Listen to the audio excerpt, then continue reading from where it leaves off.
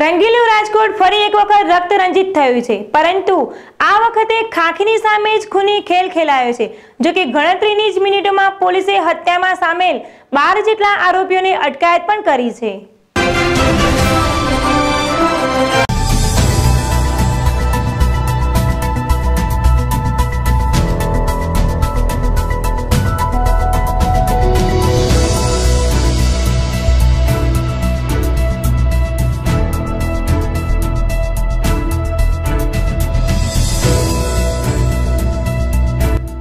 સચોટ ખબર અને દર્શકોના વિશ્વાસનું એક વરસ. એક વરસ સફળતાનું. જે તમારા સહયોગ વગર હતું અસંભવ. તમે આપ્યો સાથ અને અમે મેળવી સફળતા. દર્શકોની મદદથી અમને મળ્યો આનંદ. અમને સહકાર આપવા બદલ દર્શકોનો આભાર. જેડેશ ટીવીએ એક વરસ કર્યું પૂર્ણ જેડેશ ટીવીના તમામ દર્શકોનો આભાર. જેડેશ ટીવી સ્ટાફનો તથા તમામ રિપોર્ટરોનો આભાર. સફળતાનું એક વરસ આભાર, ગુજરાત.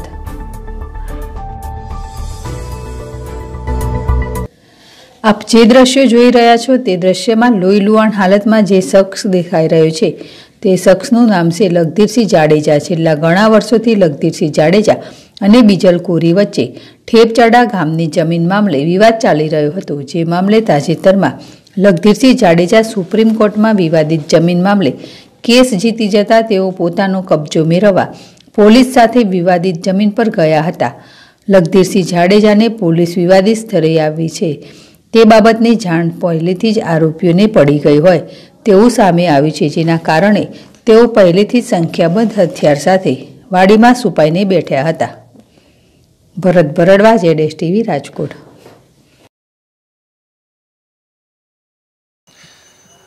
રાજકોટ શહેરમાં, આજી ડેમ પોલીસ સ્ટેશનમાં, ઠેબચડા ગામમાં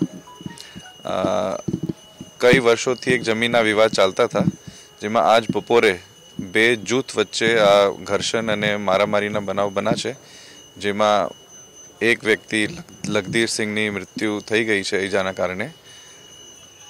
આ વિવાદમાં જ્યારે આજ ખબર પડી કે જો ફરિયાદી પક્ષ છે, જો કહે છે પ્રાથમિક માહિતી અનુસાર કે આને પાસે કોર્ટના ચુકાદા છે, જો કબજા લેવા માટે ગયા હતા, તો સામેવાળા આરોપી પક્ષના જૂથના કુછ માણસો આવી ગયા અને કામ રોકવા માટે અને ધમકી આપતા હતા. જ્યારે પોલીસને ખબર પડી, જ્યારે પોલીસ પહોંચી ત્યાં ટોલું હતા ટોલાને દૂર કરતા જ્યારે આ મરણ જનાર ભાઈ છે, આ કુછ દૂર ઉપર ખેતરમાં ઊભા હતા તો બીજું ટોલા ધારધાર હથિયાર સાથે ત્યાં આવીને આને માર ઘાવ ઈજા કરી છે, જેમાં માથાના ઈજાના કારણે ભાઈને મૃત્યુ થઈ ગઈ છે.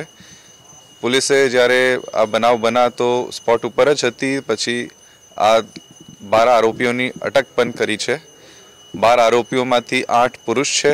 ચાર મહિલાએ છે અને સ્પોટ ઉપરથી જ અમને આજી ટાઈમ પોલીસે અટક કરી છે. આના સિવાય પણ આના કોઈની ઇન્વોલ્વમેન્ટ હોય તો ટૂંક સમયમાં અટક કરવામાં આવશે. આની તપાસ પીઆઈ કક્ષાના અધિકારી કરે છે અને આના સુપરવિઝન, એસીપી પૂર્વ